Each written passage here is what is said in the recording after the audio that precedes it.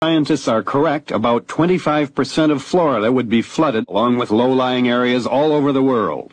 For years, scientists have theorized about the dangers of the so-called greenhouse effect, the warming of the Earth's atmosphere due to the burning of coal and oil.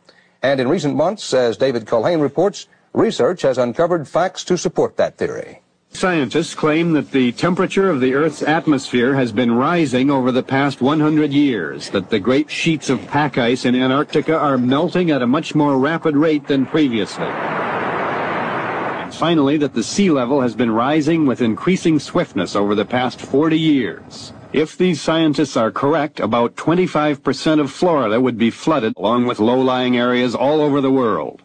Climate changes could produce widespread disruption of agriculture. The American farm belt might be too dry and the wheat and corn crops would have to move to Canada. Scientists blame the odorless, colorless carbon dioxide gas for these potentially dangerous changes around the planet. If